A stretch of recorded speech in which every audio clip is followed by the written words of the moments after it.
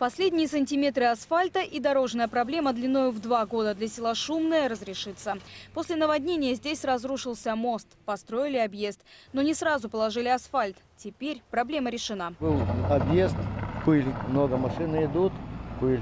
Очень трудно было. Сейчас такое благородное дело сделали.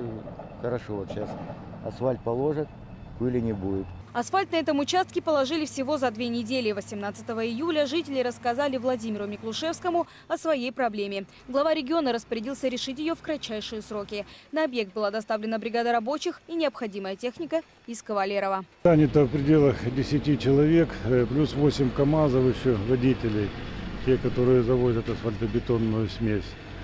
Э, Два катка и так далее. Думаю, что сегодня закончим данный объем работ и вся проблема будет решена. Уже сегодня строители обещают открыть движение на этом участке. В этом году дополнительно на ремонт автодорог регионального и межмуниципального значения, проходящих на территории Чугуевского района, будет выделено почти 19 миллионов рублей. Ремонт будет проведен в селах Булыга, Чугуевка и Самарка.